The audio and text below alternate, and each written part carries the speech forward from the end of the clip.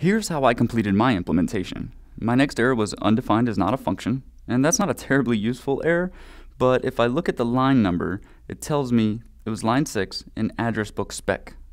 If I look at that line, I can see it's referring to this add contact method of my address book class. So I just need to write this add contact.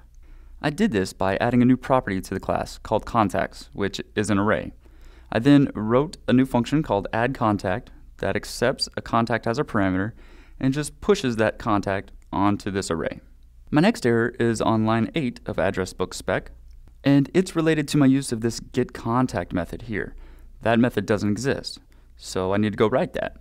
So I wrote a getContact function, which just accepts an index and returns the element of the array with that index. If I reload my spec runner, I now see that all my specs are passing. My address book should be able to add a contact.